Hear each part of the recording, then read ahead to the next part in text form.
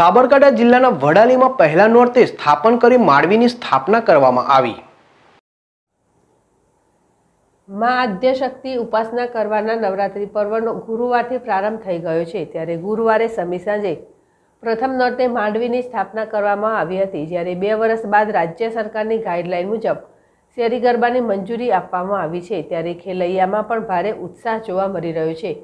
ત્યારે નવરાત્રિમાં હવે આઠ દિવસ ગરબાની રમઝટ જામશે. નવરાત્રિમાં માય ભક્તો અને ગરબા રસિકોમાં આનંદ ઉલ્લાસ છવાયો છે.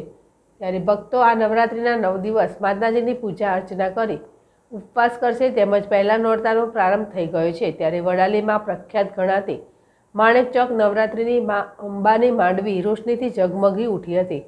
નવરાત્રિના પહેલા નોરતે મા અંબાના ધામેવા માણેક ચોકમાં બ્રાહ્મણ દ્વારા વિધિ વિધાન સાથે ગઢ સ્થાપન કરી માંડવીની સ્થાપના કરવામાં આવી હતી.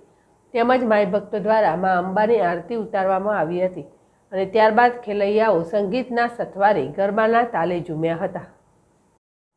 ધ્રુવ મારી જેડેસ ટીવી, વડાલી.